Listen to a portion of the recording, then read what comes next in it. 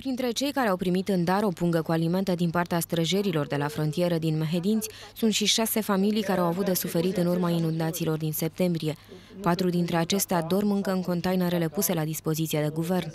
Au trecut șapte luni de când apa le-a luat toată agoniseala, dar oamenii nu au reușit să-și refacă viețile. Cei mai mulți spun că nu au avut Crăciun și la ei parcă nici nu se apropie Paștele. Banii care mi-a dat pentru alimente i-am folosit ca să-mi consolidez un pic casa, să nu dau cadă. Aveți ce pune pe masa de Paște? Pe acum, cu ajutorul Poliției de Frontieră, deja și au fost de mai multe ori.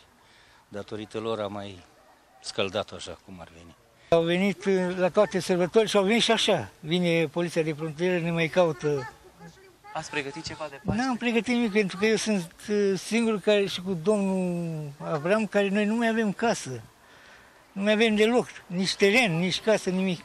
Unde mai arde de nimic? N-am fost ca lumea nici de sărbători, nici de... Nu suntem ca lumea. După să spici o casă mai... După ce ai muncit... Dar normal, bineînțeles. Mai suntem cum trebuiește. Sinistrații de la Eșelnița nu sunt singurii cu care polițiștii de frontieră au fost darnici de acest Paște.